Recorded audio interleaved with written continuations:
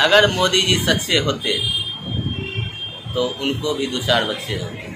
BJP means बड़का झूठा party कि दो आदमी का देश है, अडानी और अम्बानी दो आदमी के लिए मोदी जी काम करते हैं। मोदी सरकार निजता का हनन करने वाली सरकार है। अगर आज चुनाव करवा लें तो मोदी जी को अपना औकात पता चल जाएगा पूरे देश में कि जनता उनको कितना चाह रहा है। 2024 में 20 सीट भी आ जाए तो बुझेंगे कि बहुत अभी नमस्कार, मेरा नाम रविकांत चौरसी और आप देख रहे हैं बोलता खगड़िया। मोदी सरकार ने जिस तरह से देश में एक भी लोगों की ऑक्सीजन की कमी से मौत नहीं होने वाले बयान को देखकर मोदी सरकार फंस गई है, क्योंकि लगातार उन सरकारों की किरकिरी हो रही है, क्योंकि हर लोगों ने उखड़ती सांसों को देखा है ऑक्सीजन की कमी के वजह से। अपनों को कई लोगों ने खोया है, और ऐसे में बिहार के मंगल पांडे जो कि स्वास्थ्य मंत्री हैं, उनका भी ये कहना कि बिहार में ऑक्सीजन की कमी की वजह से लोगों की जाने नहीं गई है। ये कहाँ तक जायज़ है? इन तमाम मसलों पर हमारे साथ खास बातचीत करने के लिए कांग्रेस नेता वीरेंद्र मोहन झा जी हैं। आइए हम सीधे जुड़ते हैं। अगर मोदी जी सच्चे होते तो उनको भी दो चार बच्चे होते।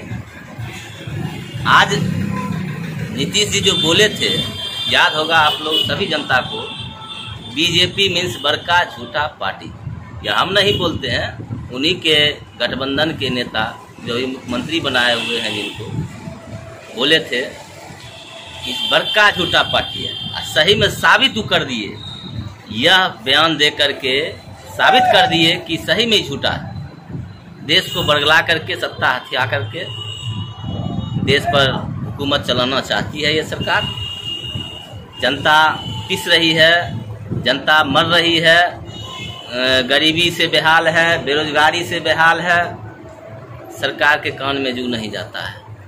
बीजेपी तो कह रही कि कांग्रेस मुक्त भारत बनाने की दिशा में वो मुहिम चलाए हुए हैं और कांग्रेस मुक्त होने के कगार पर है। देखिए बीजेपी कभी दो सीट में रहा करती थी।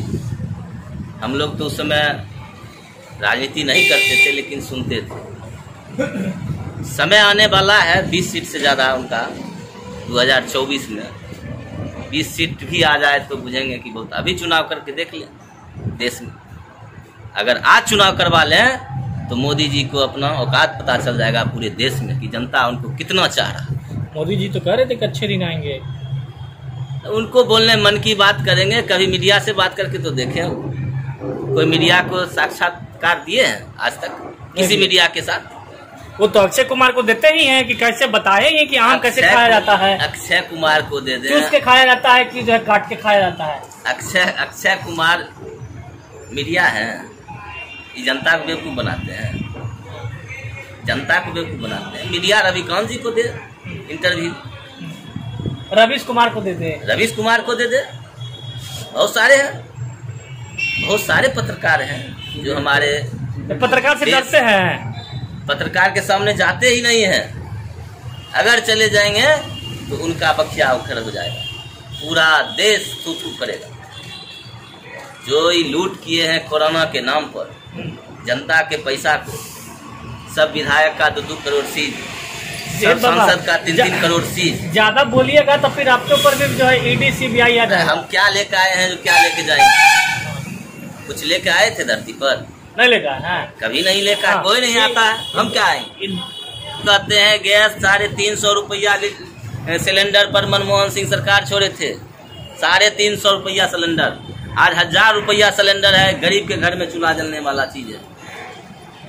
इस पर सरकार का ध्यान ही नहीं। सरकार करी को उज्ज्वला योजना दिए हर गरीब को जो है गैस सिलेंडर दिए उज्ज्वला उज्ज्वला योजना वो दिए लेकिन उज्ज्वला योजना का सिलेंडर फिर उन्हीं के पास वापस चला गया।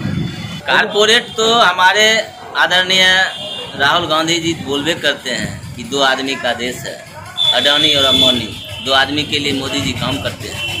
तीसरा आदमी उनके नज़र में है ही नहीं, जनता तो है ही नहीं, किसान आज रोड पर है। बेरोजगार, नौजवान बेरोजगार है, इस पर उनका कहीं कोई ध्यान नहीं है। और मोदी सरकार निजता का हनन करने वाली सरकार है। इस सरकार को जनता से कोई लेना देना नहीं है। सिर्फ़ झूठा वादा करती है। लेकिन आप बताइए कि एक भी वादे पर खरी उतरी हो। ये सरकार शुरू से झूठ बोलते हुए आई